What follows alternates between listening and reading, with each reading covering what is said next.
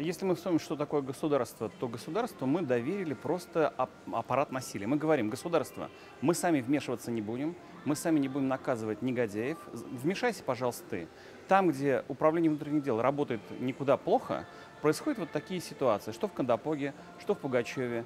На сегодняшний день только более жесткая, четкая позиция МВД и более четкая, жесткая позиция служб, которые отвечают за всевозможные предварительные разведывательную информацию, э, несут ответственность за это.